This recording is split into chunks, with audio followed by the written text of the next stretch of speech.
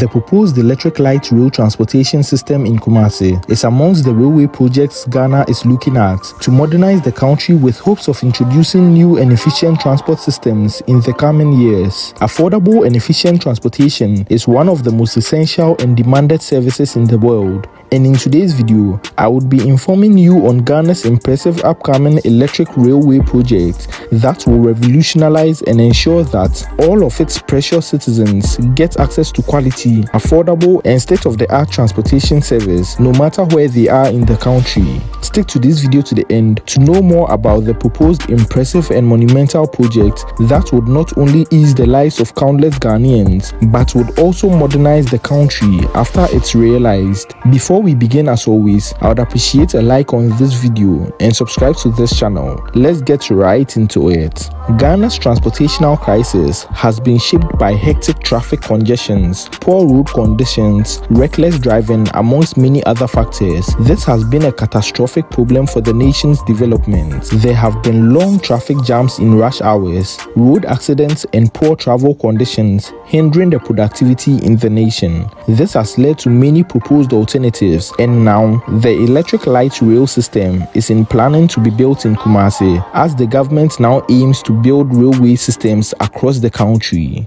Doubts of its feasibility has been squashed as the railway project from Ghana to Burkina Faso, once doubted has commenced with a magnificent railway bridge going across the Volta River, giving a sense of seriousness on the railway development in the country. Not everyone has been informed about the devastating accidents, road congestions and pollution when moving on Ghanaian roads. Road injury is amongst the top 10 causes of deaths in the country. One report suggests that about $230 million is spent annually on emergency and trauma care associated with motor accidents alone. This has in turn led to many people buying their own cars as soon as they can afford instead of using the public bus transport, which explains the increasing amounts of vehicles and also why most Ghanaians are feeling the heat from Ghana's ongoing fuel surges more than others. The effects of this failing transportation system doesn't end there. Heavy traffic jams don't just undermine productivity, they also contribute to deadly respiratory diseases and serious environmental damages. All these detrimental factors have molded the road transport sector into its present problematic state, and government, who isn't pleased with these turns of events, came up with this spectacular solution.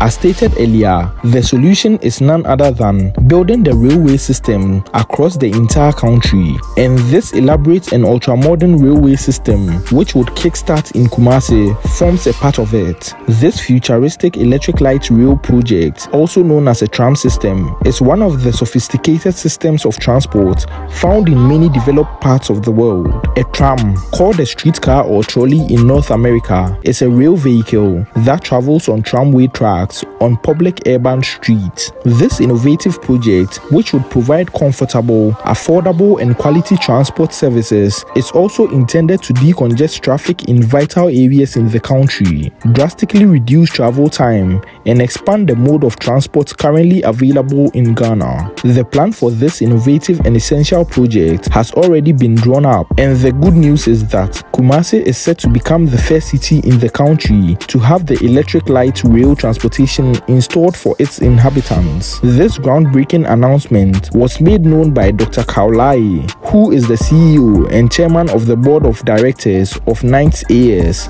the company going to handle the development of this remarkable project. According to Dr. Lai, when he spoke at the company's 25th anniversary at Accra, the tram system would operate on four main lines aimed to decongest the city of Kumasi and pave way for easy flow of traffic. He added that to make the project a success, there is need for a massive transfer of know-how to indigenes who will manage the tram system when built. So in this regard, Ninth AS, which is from the Czech Republic, has facilitated the signing of an MOU between the Kwame Nkrumah University of Science and Technology and Czech Technical University to enable Ghanaian professors and technicians to be trained in the Czech Republic. After this training, he is certain that trained engineers would would have enough knowledge on how to operate and maintain the tram system for ages to come, improving the maintenance culture and proper handling of equipment.